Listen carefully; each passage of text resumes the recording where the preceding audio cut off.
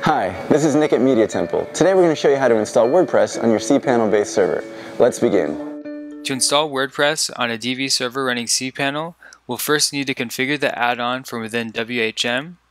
Start by searching for add-ons and click Install CP Add-on Site Software. And we'll check the box next to WordPress and click Update Add-on Config. This will install the latest version of WordPress. Scroll down and click back. Then search for account and select list accounts. Then click on the cPanel icon and then scroll down and click Site Software and select WordPress. And here we'll set a WordPress user and password. Can generate a password. Here you can set the installation URL. Usually you want this to be the root of the domain, so we want to remove this WordPress subdirectory.